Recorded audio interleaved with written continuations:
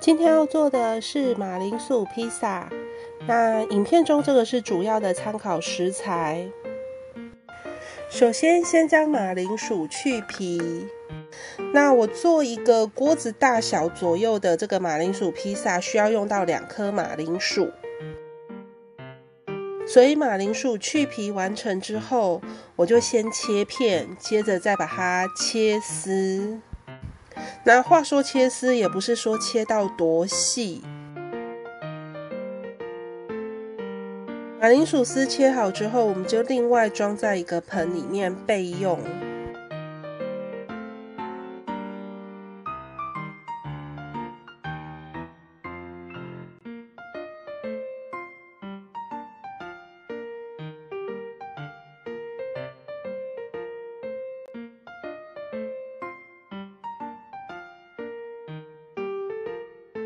接着先处理红喜菇，将红喜菇的根部切除，将根部就是看起来比较脏的部分切掉之后，基本上它整体算是干净。那我们就先把它分成一小株一小株的。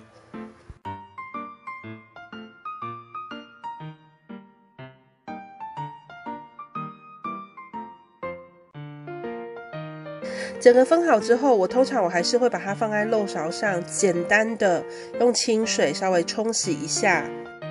冲洗好之后，把它切小段。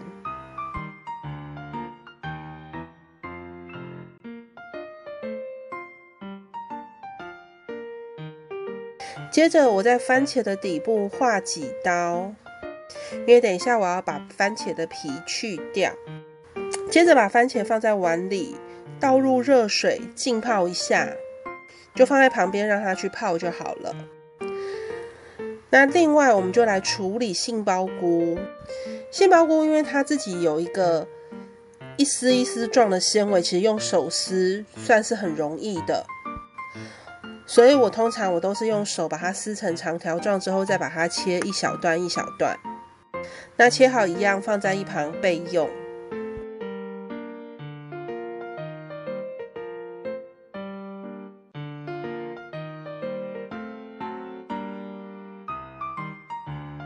接着磨适量的姜泥，一样放在一旁备用。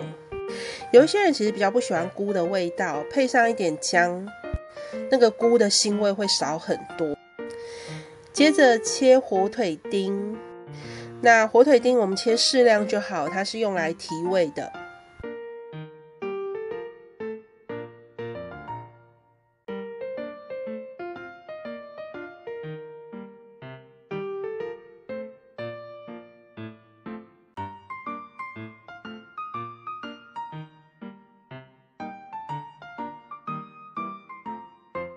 番茄泡了一会儿之后，它很容易的，其实就可以用手把这个皮给撕开。接着我们就把番茄切丁。番茄去皮其实主要是等一下放在我们这个马铃薯饼上面的时候，它比较不会有那个番茄皮硬硬的口感。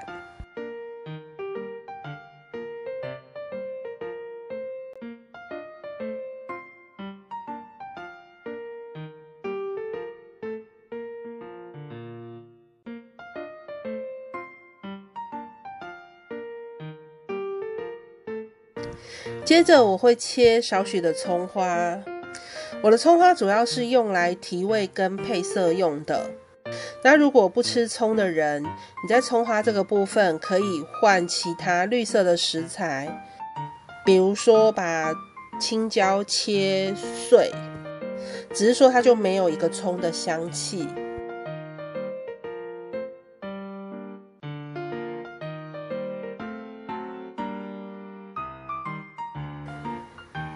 接着准备三匙的面粉，那这个面粉低筋、中筋、高筋都无所谓，我主要是要调成面粉糊。那记得在调的时候，我们加水要加饮用水，调成适量的浓稠度。那这个面糊主要是要把它拌入马铃薯丝中，让这个马铃薯丝彼此之间有一个粘稠。所以把它搅拌均匀之后，我会加入呃我刚刚切的葱的一半，来做一点点调味。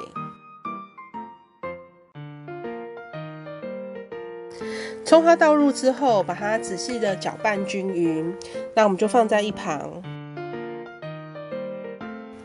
准备干净的锅子，热锅，然后加油。我们要先来炒其他的蔬菜。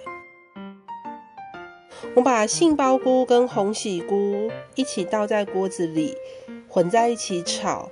那我们主要是把这多余的水分把它炒掉，连带的炒出一点菇的香气。那同时我会倒入姜末一起拌炒。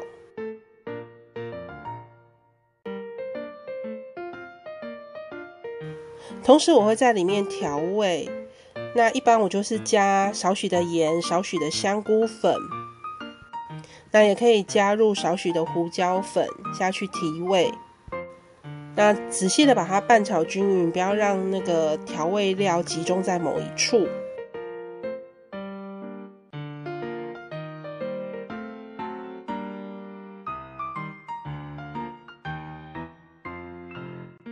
接着倒入番茄丁，混合在一起，仔细的拌炒。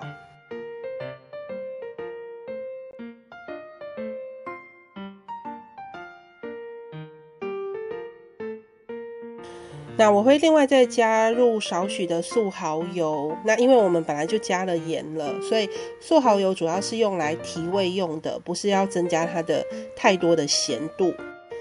那仔细的把它拌炒均匀。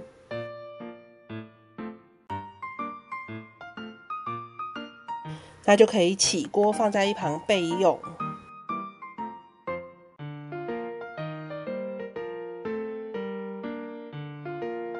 接着，我们就要用马铃薯丝来做这个马铃薯披萨的底部。所以，我会换一个干净的锅子，加适量的油。